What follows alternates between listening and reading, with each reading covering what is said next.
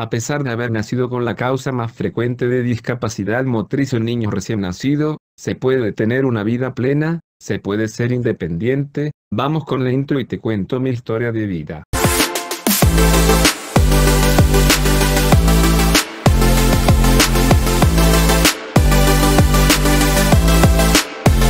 Hola, mi nombre es Federico Bonilla y te doy la bienvenida a mi canal. Mi idea es traerte la mejor información sobre distintos temas de salud. En esta video presentación te voy a contar mi historia de vida, cómo es vivir con una discapacidad motriz como la parálisis cerebral. Pero primero te voy a resumir qué es la parálisis cerebral. La parálisis cerebral es un grupo de trastornos que afectan el movimiento y el tono muscular o la postura. Se produce por el daño en el cerebro inmaduro a medida que se desarrolla, con mayor frecuencia antes del nacimiento. Los signos y síntomas aparecen durante la infancia o los años preescolares. En general, la parálisis cerebral causa deterioro del movimiento asociado con reflejos anormales, distensión o rigidez de las extremidades y el tronco, postura anormal, movimientos involuntarios, marcha inestable o alguna combinación de estos. Si querés saber todo sobre esta lección cerebral acá arriba a la derecha te dejo la tarjeta del video donde te explico todo con mucho detalle y amor ahora sí. Voy a tratar de contar todo lo más fielmente posible para que le sirva a todos. Nací en Mar del Plata, provincia de Buenos Aires, República Argentina el 12 de mayo de 1978 en mi caso nací a destiempo, lo cual provocó que nazca con falta de oxígeno en el cerebro, o sea nací ahogado. Antes de cumplir los 18 meses mi mamá y mi papá se dieron cuenta que algo no andaba bien, no caminaba y no podía mantener la cabecita derecha y en su lugar, además de seguir babeando, por lo cual me llevaron al médico y este me diagnosticó que tenía parálisis cerebral. Me medicaron por las dudas, para evitar convulsiones, porque cuando tienes parálisis cerebral hay posibilidades de sufrir convulsiones, por suerte mi mamá notó que estaba casi todo el día sedado. Así que con mucho amor me fue sacando la medicación sin que nadie se entere, por desgracia ese médico tenía muchos prejuicios y culpo a mi mamá de que ella se tomaba el medicamento, una locura y falta absoluta de empatía. Por suerte el instinto de madre siempre funciona como un reloj suizo y me salvó porque nunca tuve convulsiones, ni una sola vez, nunca. Por suerte en Mar del Plata está el Instituto Nacional de Rehabilitación Psicofísica del Sur, por lo cual mamá y papá me llevaron inmediatamente para empezar con mi rehabilitación a los tres años empecé el jardín en la escuela especial número 502. Esta estaba dentro del instituto así que iba a la escuela y también tenía fono, terapia ocupacional y fisioterapia, todo en el mismo lugar. A los cinco años empezaron a llevarme a natación, lo cual me hizo maravillosamente bien. Cuando estoy en el agua es como que mi espasticidad se va, soy libre y puedo hacer cosas que con la gravedad no puedo, eso está mágico, es hermoso. Por otro lado, gracias a comenzar natación a temprana edad me ayudó a tener una muy buena capacidad pulmonar ya que la esta lesión cerebral también afecta la visión y la capacidad torácica. Pero por suerte veo muy bien sin anteojos y también respiro bien, solo me agito cuando camino mucho y hace mucho calor. También ese año empecé a caminar con bastones canadienses, para mí fue toda una prosa porque hasta ese momento gateaba.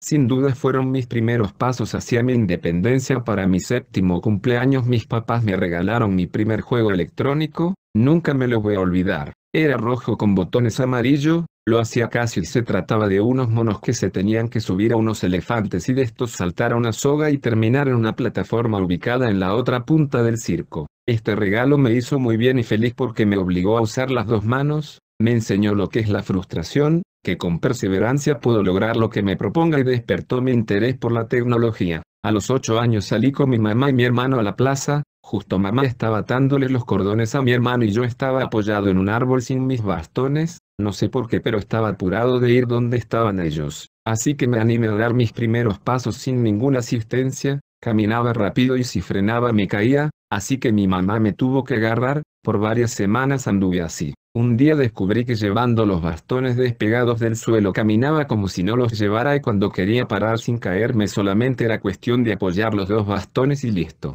Mi pediatra no estaba de acuerdo con que dejara los bastones porque quizás si todavía caminaría con estos mi marcha sería más derecha. Pero yo estaba muy entusiasmado con caminar sin ninguna asistencia y les contagio mi entusiasmo a mis papás y al final los dejé. Nunca me arrepentí porque en la actualidad tengo 43 años, ando por mi cuenta por todas partes, sigo mejorando gracias a los avances médicos y tecnológicos. Obviamente que si me ofrecen ayuda por ejemplo para movilizarme de un lado a otro le acepto y lo agradezco de corazón, pero si no, voy caminando, me pido un taxi por la aplicación y listo. También a mis ocho años los supuestos expertos en discapacidad me enviaron a la psicóloga porque yo no aceptaba que me digan discapacitado, desde chiquito tengo un carácter bastante fuerte. Persona con discapacidad no me molesta para nada porque ante todo soy una persona. Además se nota a lo lejos que tengo problemas motrices y nunca me dijeron discapacitado por la calle, no es necesario, mucho menos en el 2021, ahora ya es anticuado,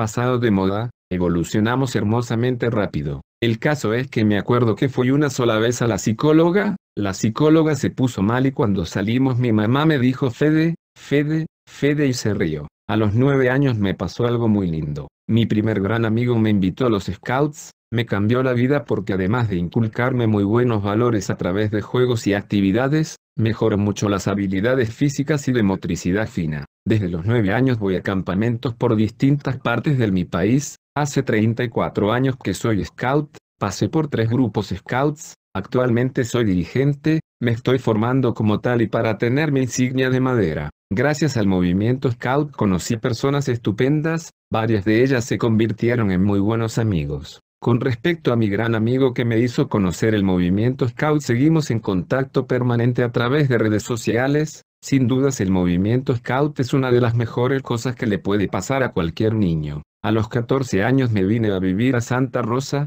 capital de la provincia de La Pampa. Al principio fue medio frustrante porque cuando salía a caminar solo, la policía me subía al patrullero y me llevaba a mi casa. Después, al tiempo comprendí que esa época era casi la única persona con discapacidad que salía solo, capaz suena feo y ofensivo pero en esa época se escondía a las personas con discapacidad por vergüenza y prejuicios. De hecho hasta hoy en día hay personas que piensan que tengo discapacidad intelectual porque camino y hablo mal, por suerte son muy pocas y cada vez menos. Al poco tiempo de estar viviendo en esta ciudad empecé scout, rehabilitación, deportes y a ir al colegio especial, así que todo salió muy bien, y era solo el comienzo de una linda vida en esta ciudad. Por suerte al poco tiempo de llegar a Santa Rosa mi padre se enteró que todos los sábados habría un profesor de educación física que trabajaba con personas con discapacidad, fue y me llevé una muy linda sorpresa. Era mi primer profesor de natación en Mar del Plata, es una gran persona, sabe mucho sobre discapacidad, de hecho,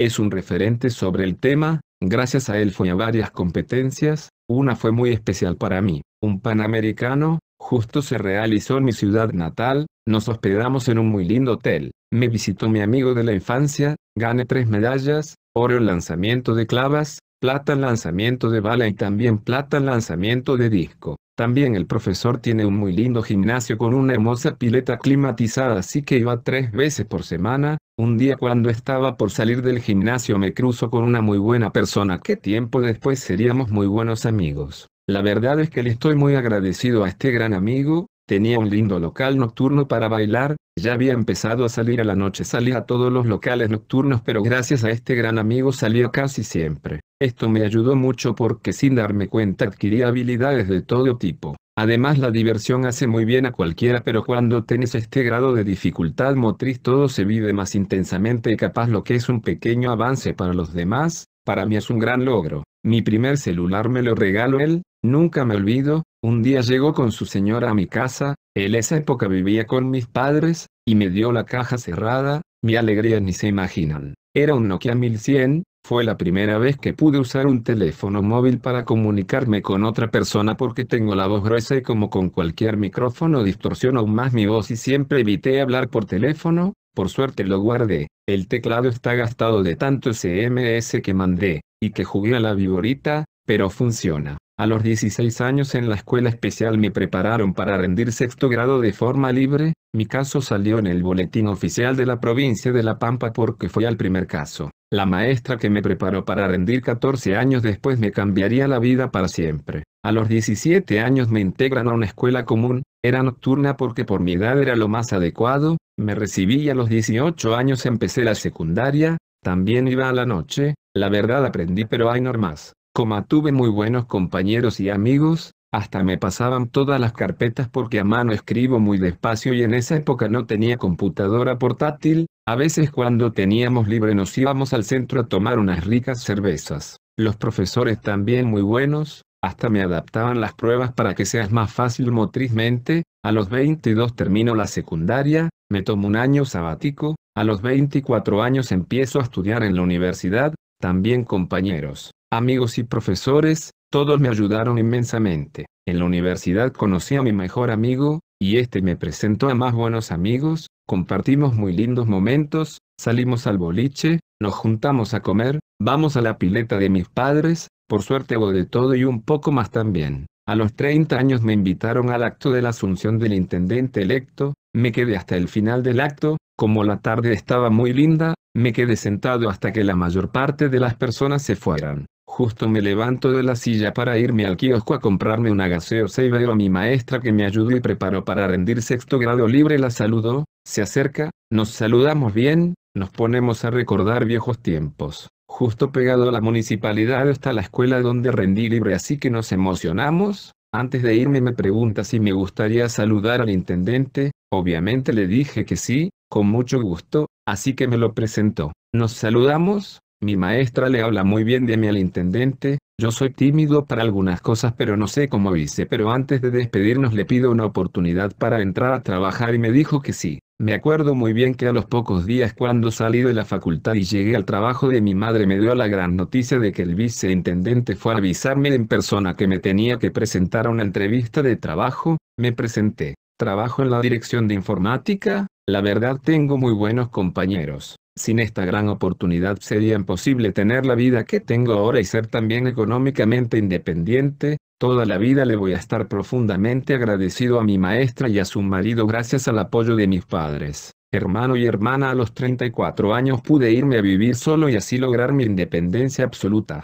Alquilo en pleno centro de la ciudad para manejarme solo, mi trabajo me queda a tres cuadras, la facultad también a tres cuadras, el trabajo de mi madre es a cuatro cuadras y el centro de rehabilitación a cinco cuadras. Mi hermano me hizo todas las instalaciones eléctricas, me hizo y colocó una agarradera en el baño para que yo pueda entrar y salir de la bañadera de forma fácil y segura, a los pocos meses me pude comprar la cerradura eléctrica. Esto me facilitó enormemente la tarea de abrir y cerrar la puerta ya que para abrir solo uso una tarjeta de proximidad, y para cerrarla solo empujo el picaporte y espero que se trabe sola. La verdad era complicado tener que cerrar y abrir con una llave convencional para mí, también me pude comprar un horno chico que además de ser eléctrico también es digital, muy práctico para mí porque selecciono la temperatura, selecciono el tiempo de cocción, todo con botones y cuando la comida ya está me avisa a través de una alarma auditiva y listo. Con respecto a la vestimenta, desde pequeño trato de vestirme solo así que gracias a mi perseverancia me visto 100% solo y sin necesidad de usar ropa con algún tipo de adaptación, de hecho me gusta vestirme bien. Lo único que me costó un poco más fue ponerme las medias, pero encontré un simple método usando solo dos plantillas de zapatillas,